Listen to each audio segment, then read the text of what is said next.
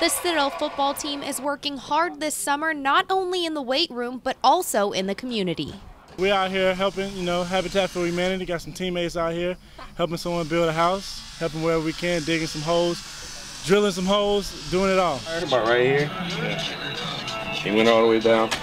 For the third consecutive year, the Bulldogs lending a hand to Charleston's Habitat for Humanity, this year building houses on James Island. Great opportunity for our guys, tremendous experience, not only in what they do for the community, but uh, just growing as a football team closer together. I've got a number of jobs. I'm kind of a grunt man today. I've been doing a lot of shoveling.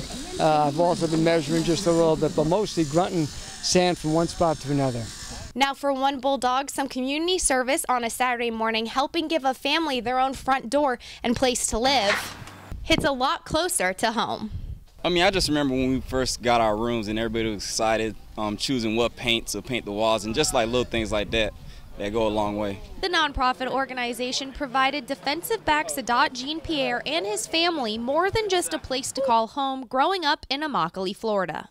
It gives you a brand new start really. It's refreshing for people who might be in like small apartments and just different kind of scenarios in life these affordable homes will be sold to qualified families at no profit with no interest charged. The Bulldogs helping fulfill the vision of a world where everyone has a decent place to live.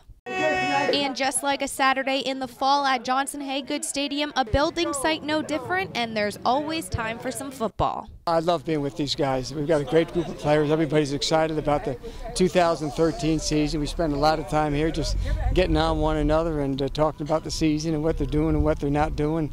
Talk about seven on sevens in the summertime, so it is a fun time. Melissa Egan, CitadelSports.com.